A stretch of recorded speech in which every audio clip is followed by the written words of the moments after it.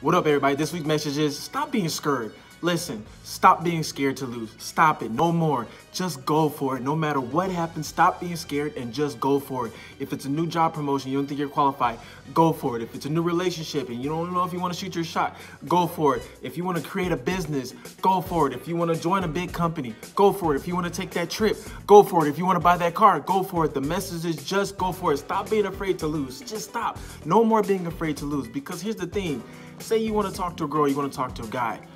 Say you get rejected, at least you gave it your all. At least you took your chance. But say you go for it and you actually give that first date or you actually get to take them out and spend time with them or you get that job promotion, you take that big trip. Guess what? You went for it and you succeeded. But a lot of people out here, they're scared to lose. You know what? Some people sit back and look for opportunities while others go out and create them. So go for it. Go for it. Shoot your shot. Go for it. Stop being afraid to lose. Just go for it. Go all in. Have a happy week.